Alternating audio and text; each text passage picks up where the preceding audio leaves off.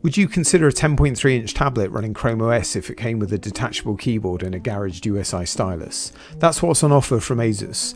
This is the Asus Chromebook Detachable CL3, also known as the CM3. You may have seen my tweet when I picked this up, I still can't believe how cheap it was. It comes with the MT8183 processor, which is the same as you'll find in the Lenovo Duet, 4GB of RAM and 128GB of storage. Chrome OS updates will run until June 2028.